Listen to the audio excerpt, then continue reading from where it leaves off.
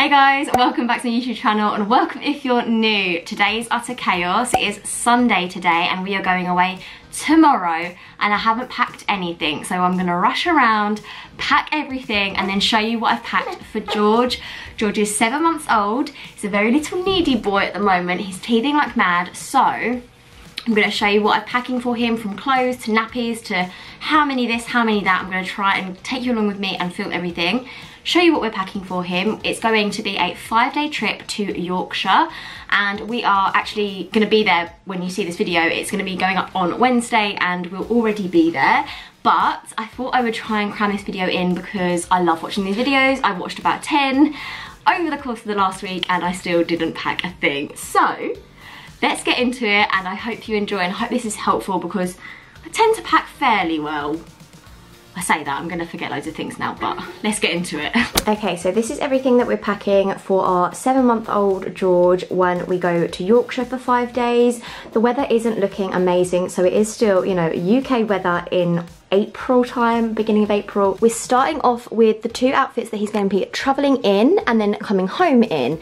Um, so funny enough, he's going to be wearing this tomorrow, so I haven't folded this up or anything, but this is actually what he's going to be coming home in, and I've folded this up into like a clothes burrito kind of thing, and it's literally got a vest, a long sleeve top, some trousers and some socks and I'll put it on screen now how I actually folded this up.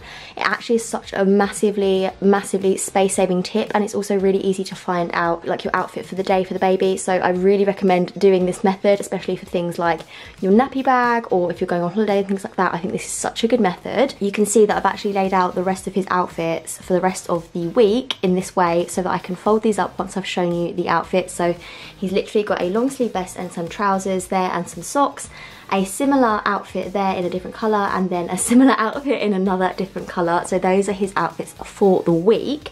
Obviously, if you have a seven month old, you'll know that babies sometimes have accidents.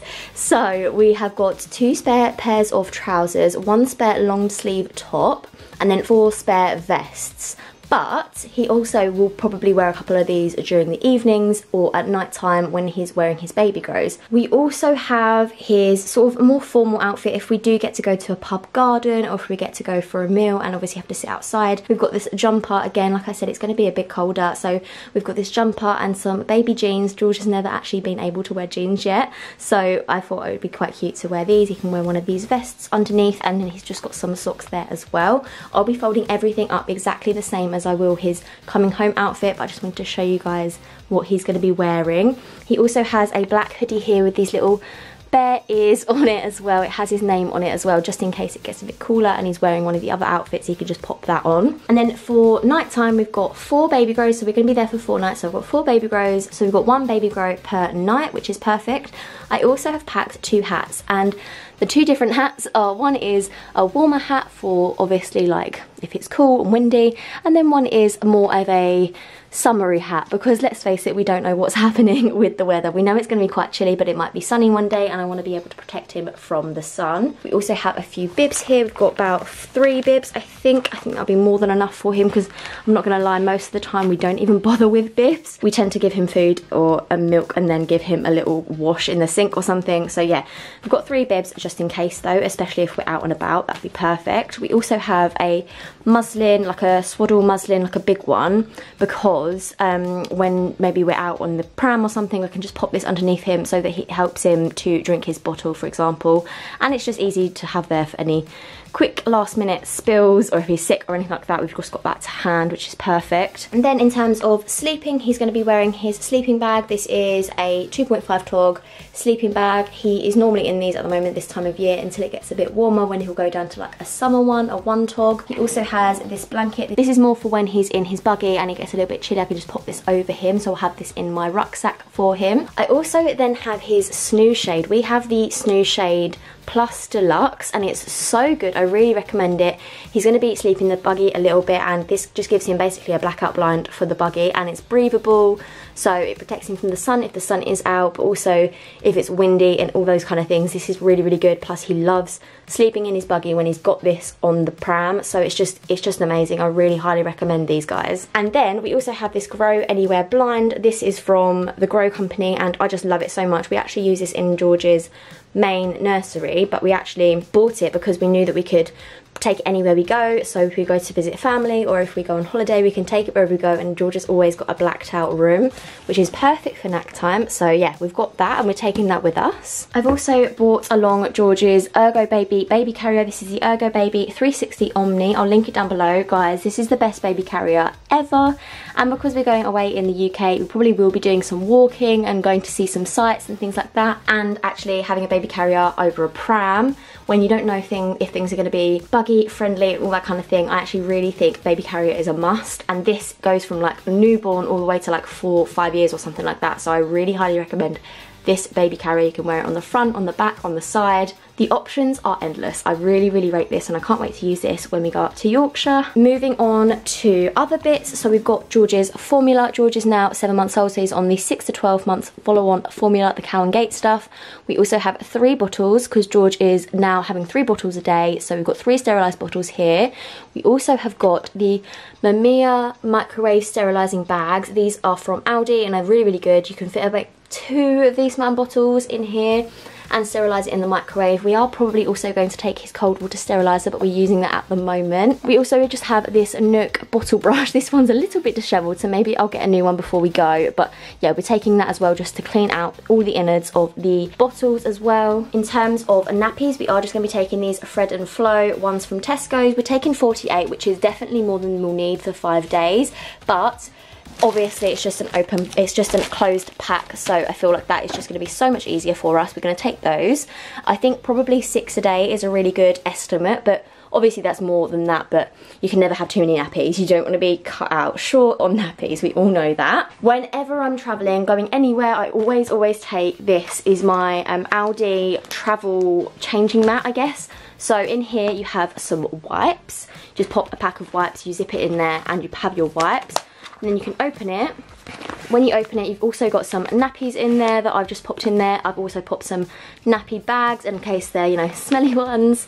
Um, and then it opens up and it is a proper changing mat for them. So you can literally change them anywhere you are, which is perfect. So I really recommend these. I'm sure you can get these on Amazon as well. And if you can, I'll link them down below. Anytime there is a baby event on at Aldi, I really recommend getting this. But like I said, there are loads on Amazon as well. So I'll link them down below. Then we have some toiletries for George. Again, we've just got another pack of the wipes here. These ones are the Aqua Pure ones. Any of the ones that have like 99% water for me are perfect. If they're biodegradable, then even better. We also just have a little muslin cloth here for when he's in the bath. I can sort of just get the water and then rinse him over with it. Um, and then we've also got some Sudocrem just in case he has any nappy rash.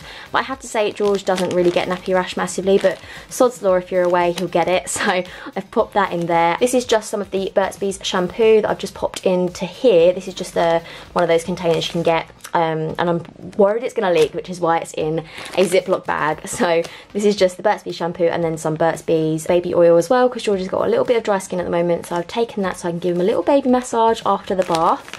And then down here we just got his baby towel as well. He's still in the hooded towels just because he looks so cute in them, so I thought I'd bring those. And then in terms of like medication and things, George is teething like mad at the moment. If you've got a seven month old, you'll appreciate. So we've actually just taken some Nurofen, some baby Nurofen. We've sought GP advice on this and they've absolutely advised that George needs this sometimes. Obviously, if he's got a fever or something like that, we'll use this. If not, we'll stick to the Bonjela and we'll stick to these Teetha granules, teething granules. These are supposed to be really good. We've used the Ashton and Parsons ones and now we're using the Teetha ones. So yeah, we'll use those if he needs it. Hopefully he doesn't, but if he does, we've got everything that we need. And then we've also just got some sun cream here. This is the P20 Sun Care for Kids, 50 FPS, but we're not really expecting it to be too hot um, in Yorkshire at this time of year because, you know, it's the UK. So we've just got that just in case, but I don't expect to use that, I'm not gonna lie. In terms of entertainment and toys and things, I'm taking it really minimal for this trip. So we've literally just got this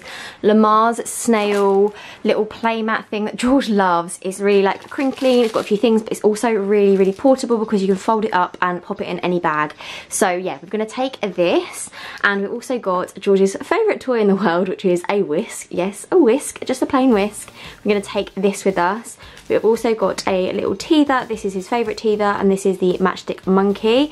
And then we've also got the Tomy eggs. You guys know that he absolutely adores these. These little eggs and he just loves taking them out and tipping them out and playing with them and munching on them and stuff as well. So we're going to be taking those and I like these for traveling because they are self-contained and I can just take the whole thing with me without having to pick up loads of little pieces. I mean, you have to pick up the pieces to put them in here, but you guys know what I mean. So these are really, really portable toys that he's absolutely going to love. Look, he's eyeing up those eggs already. And then just in terms of food and things like that, so we've also got a silicone bowl that we can just wash up every time that he's used it, a couple of spoons, because we do tend to go for a couple of spoons per meal, so we'll just wash those up after we've used them. Um, we've got his Tommee Tippee cup. This seems to be the only cup that he's capable of drinking water out of. It really is just the best. Sorry, that is just George try to tell you a little story. Um, but yeah, this is the best cup for him to drink water out of. It's the one he gets on with the best. So yeah, we're taking that with us. It is actually really good for traveling because it doesn't spill too much. I know there are some, are some that are really good for not spilling, but George can't use them. He just cannot figure them out just yet. So on the way up, I think we will have to stop for some food for George. So we've just taken this on the way up. It's just a Tesco spaghetti bolognese, exploring the flavours. It's um, seven months plus stage two weaning. It's all organic. It literally has exactly the same ingredients as all of the Ella's Kitchen pouches. So we're just going to take that. But when we're up there, we will be just cooking like we would normally um, for George. So yeah, he'll just have things that we would have minus the salt. Um, and yeah, just a few things. Probably some more baby led weaning things as well. Because of that, we're going to be taking his Mamas and Papas chair. He really loves this and we always just pop food like on this tray and he just picks it up and eats it. So if we had toast or something like that, he would just pop that on here and then take it with his hands and eat it so we won't really need any more stuff we'll just like pop it on the tray here and then wipe that up afterwards but the Mamas and Papas tray also comes with this which is like a little activity center thing it has suction cups on the bottom pop that on here and he absolutely loves it. So yeah, we'll be popping that on there if he needs entertaining, if we're making him a bottle or making some dinner or something like that. George will be on this, so yeah, he'll be happy. You'll be happy, won't you, boy? Yeah. Then we're also going to be taking a travel cot for George. This travel cot is really, really good. It's so affordable as well, so I really recommend it. I'll link it down below. The only downside about this travel cot is that it doesn't come with a really good mattress. The mattress is quite thin, so we did buy an extra mattress. Again, this was really affordable, so I'll link these two down below. These are really good. They're really compact, really, really easy to like carry and you know pack in the car and stuff so these are really good everything that I've talked you through so far is just over there these two items as well added to the list. And of course, two things we absolutely cannot forget is Ewan the dream sheep just in case we're having an off day and he needs help with napping and his favourite Baby Mori comforter. He absolutely loves this thing and I just think for peace of mind, I'm going to take these two so that George can have a very, very good nap during the days. We're also going to be taking George's baby monitor, which is just behind us as you can see, but George's gonna need that tonight, so we'll pack that last minute before we go tomorrow. So other than the things I've already shown you, I'm also gonna be packing, he's literally looking at himself in the mirror, um, I'm gonna be packing George's pram, his little really, really compact pram, buggy, whatever you wanna call it. It's the Babyzen Yo-Yo 2. It's really compact, it folds up perfectly into the boot. We've also got the baby carrier, so it's gonna be okay. He's pulling my hair. It's gonna be okay if it's not bushcraft friendly or if it's too hot or whatever and we wanna not use the baby carrier, we can use the pushchair, vice versa.